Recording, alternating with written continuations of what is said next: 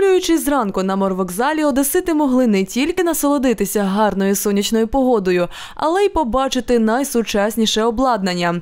На 16-му причалі пройшла церемонія передачі техніки та спорядження морської охорони Державної прикордонної служби.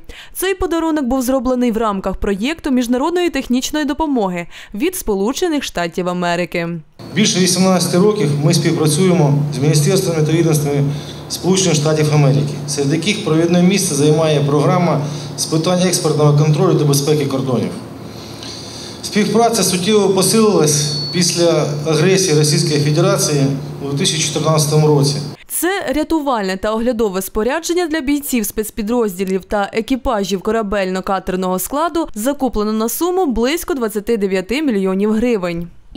Сьогоднішній день це велика вільха у співробітництві між Сполученими Штатами Америки та Україною, власне, у контексті забезпечення безпеки на морі.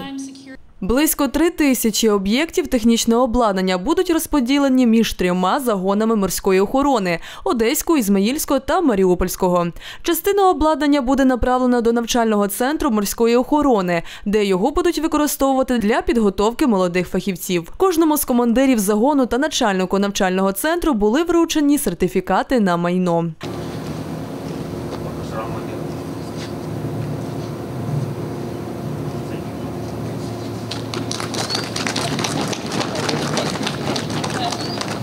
Обладнання вкрай необхідне для морської охорони, яка несе службу на річці Дунай, в Азовському та Чорному морях. Таке оснащення допоможе нашим хлопцям бути готовим до будь-яких непередбачених ситуацій. Раніше такого обладнання у нас не було, але ми розвиваємось. Ми втілюємо в нашу службову діяльність е, кращі традиції берегової охорони. Часто стикаються із небезпекою саме оглядові групи, відділи спеціальних дій на воді. Зараз захищати їх життя у морі буде полегшений бронежилет. А ось така невелика за розміром та легка пластина витримує попадання вогнепальної зброї. Бронежилети розраховані на весь персонал підрозділу спецпризначення та 10% запасу. Нами отримано в рамках міжнародної технічної допомоги е, бронежилети з позитивною плавучістю, які дозволяють е, військовослужбовцям е, е, залишатись на поверхні води в разі нештатної ситуації. Також це кевларові шоломи тактичні. Бронежилет має- п'ятий клас захисту. Також серед предметів спорядження наручні навігатори, портативні газоаналізатори, оглядові дзеркала, рації, пожежні ліхтарі та ще багато чого іншого необхідного. Також отримані спеціальні захисні костюми. Самі військові ж розповідають, що така екіпіровка дає змогу легше та зручніше рухатись. Передано рятувальний жилет і рятувальний костюм. Він е, використовується для роботи на верхній палубі тяжкі штурмові умови. Він водонепроникний, е, вітронепроникний.